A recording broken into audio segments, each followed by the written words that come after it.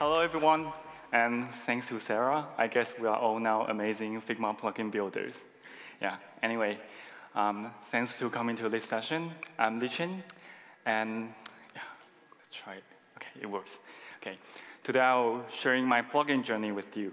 But first, let me tell, tell you a little bit about how I got started. I'm originally from Taiwan and now live in London, working at Intercom as a web engineer. Over the year, I've attended several design conferences, quite obvious, host Friends of Figma Taiwan, and build close relationship with designers. I still remember this one time I hosted a meetup, the photo on the button center, with a roundtable session. The funny part was there were no tables or chairs, so we all sat on the floor in a circle sharing ideas. But it was one of the most memorable sessions I've ever been part of.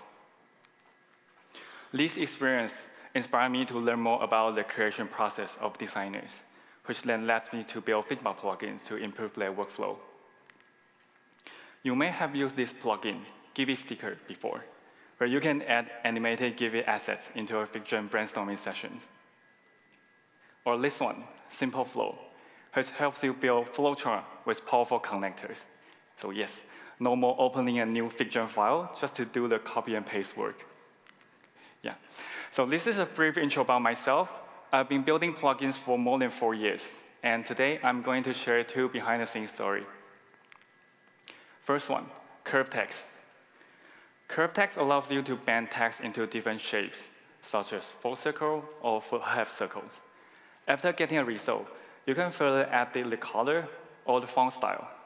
You can even customize your own path, so draw whatever you want on the Figma canvas, and bind the text on top of it opening up even more possibility for visual work. The idea of curve text actually came from a hobby project I, I worked on. In that project, I have to deal with SVG elements and path calculations. I was then inspired to think, what if I could bind the text to a path and then control it? Well, to do that, we can simply define a text element and set its edge reference attribute to the actual path element's ID. We can then adjust the sizing, offset, and even the spacing between letters. It's really interesting to see how the text changes. Now, we need to transform all these text elements from the SVG world into a Figma canvas.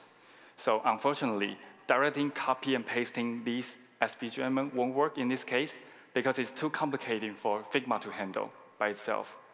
So I know many of you may have played with text paths before, but we all end up with the same questions. So how can we actually get the positioning and sizing of every character? Well, it turned out it's much easier than I thought. There's a native HTML API called get position of char, which allows you to get each individual character's positions. So for example, if we pass the index zero, which indicates the first elements, we can get the starting position and the ending position of that character h. With these two points, it's clear now we can get the width and height with simple math and an extra calculation to get a rotation value. So let's look at the whole process. You can see no matter how we update the result, I can always draw these colorful boxes surrounding all each character, indicate the information we need. And the final step is just loop through all these information. We can create a character in Figma with its API one by one and set the positioning and sizing that it needs. And that's the core logic of Curve Text plugin. So sometimes you don't need to overthink about how to craft Figma plugins. A simple solution can work perfectly and be just what needed to solve a problem. So yeah, I hope you like the first one. I will share the second one with you. Thanks. So the second project I want to share today is cutout. So cutout allows you to remove background or isolate object from an image in a few seconds. So unlike other background removal plugins or what Figma announced today, you can specify the exact object you want to cut out, like choosing whether to pick up the dog on the left-hand side or on the right-hand side. The inspiration for cutout began last year May, when Meta launched a segment anything model. I wanted to host a server myself to use this new AI model. However, the cost of hosting a cloud server that runs AI is really expensive. It's also very difficult to ask users to pay by the amount of usage, making it almost impossible to move forward. Then I saw this AI demo from a company called Hugging Face, like the emoji. They provide a platform for a developer to share models, code, data set, and AI experience. In one of their demos, they showcase a serverless AI application using Transformer.js. Transformer.js Transformer is designed to be functional equivalent to its Python library. This means you can run the same pre-trained LLM model or diffusion model all on the web using similar API. Here is an example that shows how to easily import the model and the processor.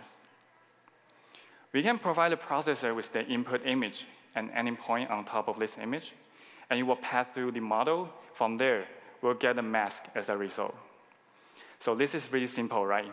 With just around 10 lines of code, we have the foundation to run the entire AI in the browser. By using this framework, we can avoid the high cost of hosting a cloud server. But since we are doing all this heavy calculation on the client side, there's a chance that the browser might get stuck for a while or enter this page unresponsive status, which requiring us to reopen the Figma again. So here I'd like to introduce this web worker with some cute doodling. Yeah. This is a way to run the script entirely in the background thread. So I'll give a basic example here. We can create a main file and a worker file. We can send the image from the main thread to the worker thread. So I will send a 5 to the worker. The worker will then multiply the number by 2 and send back the result to the main thread. So in this case, we get 10. Web workers are really useful for even more expensive tasks. In this case, we ask the worker to perform a task that lasts for five seconds. Normally, if we execute a script in the main thread, the whole web application will freeze up for five seconds. However, since we ship the task to a web worker, our main thread will work properly as usual. Now, let's just try to put the whole segmentation task from the main thread into the worker thread. This way, our entire Figma application will not freeze up, and everything will run smoothly. So this is a demo. I'll turn Figma into offline. Normally, we don't do that, but this is just to showcase that the entire task is done on the client side. Yeah. So using Transformer.js can re reduce uh, the cost a lot, since there's no need for a server. It also provides more privacy because users' data isn't sending to the server anyway. And just one more thing. yeah. Transformer's main developer, Xenova, shows us that we can run the entire process using web GPU instead of a CPU. So we can really see the difference in this benchmark chart. Given the same amount of tasks on my laptop, the process could be more than 10 times faster with web GPU. In fact, on some machine, the speed can be more than 100 times faster with web GPU, and that's really impressive. So today, my color plugin is already running the model on web GPU. It's five times faster compared to before, and I believe the quality will improve as the model matures. Yeah. We still need to wait for the previous one. Yeah, so it's very quick now. Yeah. Cool. So there's a huge potential in client-side AI waiting for us to explore. And this approach reduces the server costs, enhance privacy, and also increase e efficiency. What does this new technology mean to you as a builder? And how do you imagine product will look like in the future? I will leave this question for you to think about. A lot of time, I'm just having fun uh, and experimenting with my ideas to create plugins. I hope this has inspired you to start build your own. If you are new to the Figma plugins world, it's always best to start with Figma official YouTube channel and their documentation. There's also a plugin called Figlet, which you can learn from other people's code snippets.